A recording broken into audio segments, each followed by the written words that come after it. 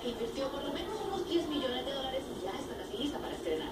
Ese mandar a YouTube. La propiedad en 2006, que tiene 7 habitaciones. La de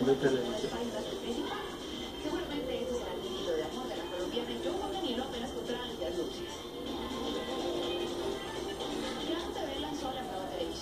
con más de contenidos y más de 50 canales. Alguien tenía que cambiar la televisión.